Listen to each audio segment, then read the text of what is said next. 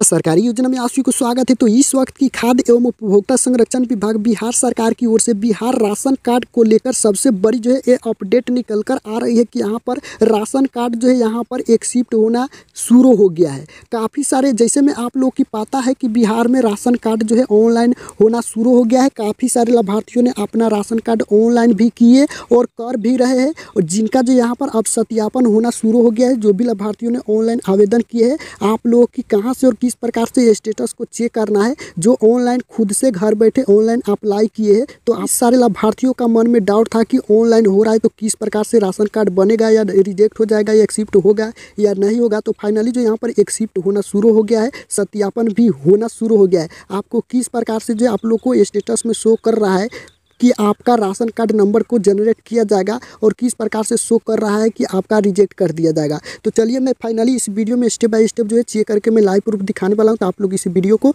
बिना स्किप किए हुए शुरू से लेकर अंत तक ज़रूर देखेगा तो सबसे पहले अपने फ़ोन में कोई सा ब्राउज़र को ओपन कर लेना है और सर्च टाइप में सरकारी सेंटर लिखकर सर्च करना है। जैसे सरकारी सेंटर लिखकर सर्च करेंगे, सरकारी सेंटर आ जाएगा, इस पर आप लोगों की क्लिक कर देना है। अब जैसे इस पर आप लोग क्लिक करेंगे, इस प्रकार से इंटरफेस ओपन होगा। आपको ऊपर की तरफ़ स्क्रॉल डाउन करना है। ध्यान रखना है कि यहाँ पर सरकारी योजना सेक्शन के नीचे आना है और यहाँ पर व्यू मोर पर क्लिक करना है।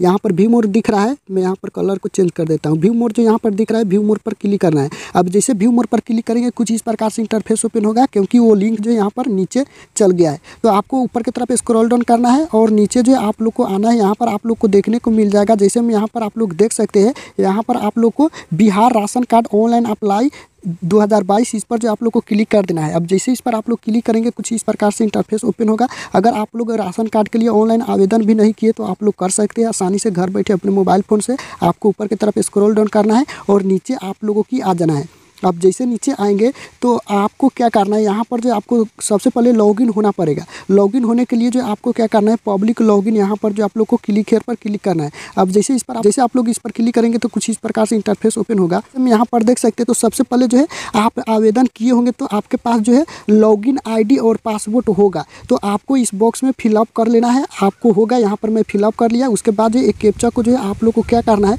इस कैप्चा को जो है, आप लोग को इस बॉक्स में जो है, आप लोग को फिलअप कर देना जैसे मैं यहाँ पर देख सकते हैं, इस बॉक्स में फिलअप कर देना है। उसके बाद जो आपको लॉगिन पर क्लिक कर देना है। जैसे लॉगिन पर क्लिक करेंगे, इसमें जो है, आप लोग लॉगिन हो जाए। तो आपको जो है, इस प्रकार से इंटरफेस जो यहाँ पर ओपन हो जाएगा। आपको क्या करना है, ये यहाँ पर गोले दिख रहा है। इस पर जो आप लोग को एक बार टच करना है। जैसे टच करेंगे तो इस प्रकार से इंटरफेस ओपन हो जाएगा। आपको अप्लाई वाला पर क्लिक करना है। जैसे आप लोग अप्लाई वाला पर क्लिक करेंगे तो यहाँ पर जो आप लोग को न्यू अप्लाई और track application status edit application तो आपको ट्रैक अप्लीकेशन स्टेटस पर क्लिक करना है।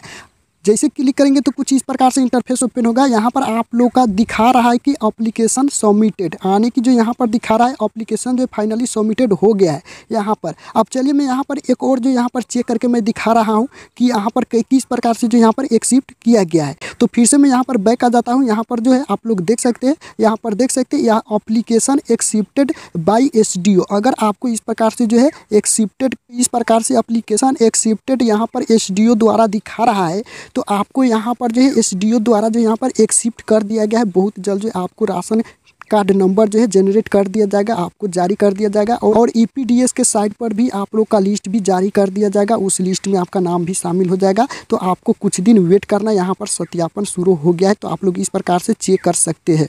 मेन फंडा यहाँ पर एसडीओ द्वारा ही रहता है। तो फाइनली यहाँ पर एसडीओ द्वारा जो यहाँ पर एक्सेप्टेड किया जा रहा है, आप लोग इस प्रकार से चेक कीजिए, आपका स्टेटस में क्या दिख रहा है। अगर आपको अप्लीकेशन सबमिटेड दिखा रहा है तो आपको फिर से जो है कुछ दिन के बाद चेक करना है। आपका सत्यापन अभी नहीं हुआ है। अगर फिर से आप दोबारा चेक करेंगे तो यहाँ पर अप्लीकेशन एक्सेप्टेड बाई एस द्वारा जो यहाँ पर शो करेगा तो आपको बिल्कुल घबराने की कोई ज़रूरत नहीं है। कुछ दिन वेट करना है। आपका राशन कार्ड नंबर जनरेट कर दिया जाएगा और मिल भी जाएगा। आप लोग अपना राशन भी उठाओ कर आप लोगों की कोई भी फॉर्म, कोई भी अप्लीकेशन कहीं पर ब्लॉक आर काउंटर में कहीं पर भी आप लोग को जमा कराने की कोई ज़रूरत नहीं है। सिर्फ़ आपको ऑनलाइन आवेदन करना है और कुछ दिन के बाद यहाँ पर स्टेटस चेक करना है। आपको यहाँ पर रिजेक्ट हो गए या अन्यथा आप लोग को एक्सेप्ट कर दिया जाएगा। अगर आप लोग ऑनलाइन आवेदन करना चाहते हैं, अभी नहीं किए तो आपको क्या करना है? इस वीडियो को जो है आप लोग को देख लेना यहाँ पर आप लोग को वीडियो देखने को मिल जाएगा। उस वीडियो का लिंक मैं डिस्क्रिप्शन बॉक्स में दे दिया हूँ। वहाँ से आप लोग क्लिक करके उस वीडियो को देख सकते हैं और अपना आवेदन कर सकते हैं। तो आज के वीडियो में इतना ही। मिलते हैं नेक्स्ट वीडियो में, तब तक वंदे मातर